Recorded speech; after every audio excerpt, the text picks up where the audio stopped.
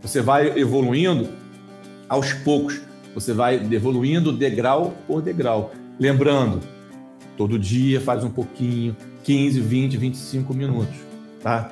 Que você vai sentir a sua evolução na coisa, você vai sentir as suas mãos respondendo, fazendo aquilo que você está pensando.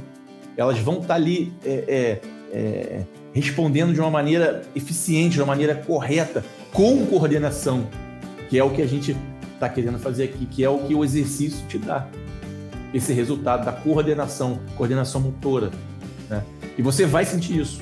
Você vai ver que a coisa está andando, que está melhorando pela insistência, pela dedicação.